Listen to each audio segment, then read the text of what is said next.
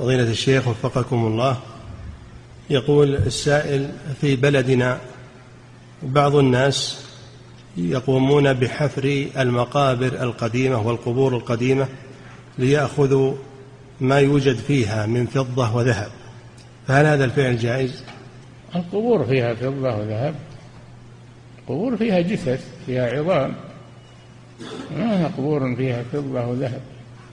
نعم. إعداد مشروع كبار العلماء بالكويت أعزها الله بالتوحيد والسنة.